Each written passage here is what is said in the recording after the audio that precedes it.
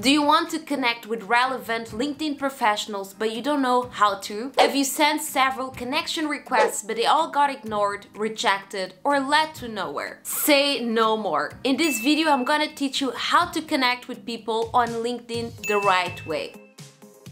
When you connect with someone on LinkedIn with who you don't have a direct relationship with, it should always be with a purpose. You shouldn't connect with someone just because. Oh, no! Connect with professionals on LinkedIn that can help you in some way. For instance, with a project that you have going or looking for jobs. So there are only two things we need to do. We connect and we drop them a note. So the best practices for writing a LinkedIn note are rule of thumb, make it brief. LinkedIn gives you a very limited space for writing your your message. And then add one or more of these elements to make it successful. Highlight something that you have in common with the person you're connecting with. Give them a compliment, either about their career path or about the post they wrote recently. And if you can, add value, highlight your skills and how you could bring value to a project of theirs or an activity. And before we jump into the template, give this video a thumbs up. So here is my template. Hey Megan, I see that we're both working in the beauty industry and based in London. I also see that you pursued your master's at Católica, the university I also attended for my master's in management.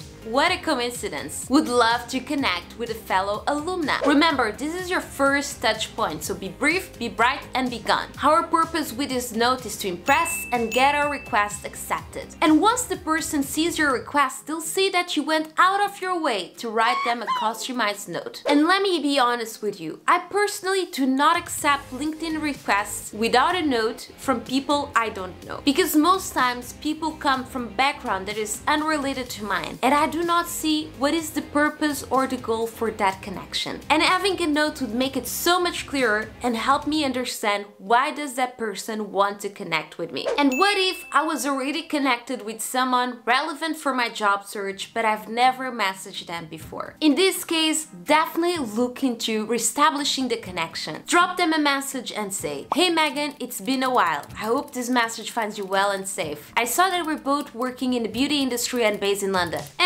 yada yada. Use the same template as before. You can also find this in the description box and in the pinned comment down below. So let's now tackle some questions you might have regarding connecting with people on LinkedIn and this template. And if you have any other questions that weren't mentioned here today, feel free to drop them in the comments below. What if I can't find a connecting point to talk about? Great question! I've actually run this exercise on a previous video which I'll link as well in the description box. But the trick here is to look into the person's profile. Do some background research and I'm sure there's something you two can talk about. You can even give them a compliment on their previous post, give a look into their working portfolio or their LinkedIn media, or even give them a compliment on their career path. Next question, how to connect with a recruiter when changing industries? I love this question. If it is the case, admit that you don't have the experience and show them what you're doing to learn more, taking courses, looking at industry reports, reading, and start a conversation that way.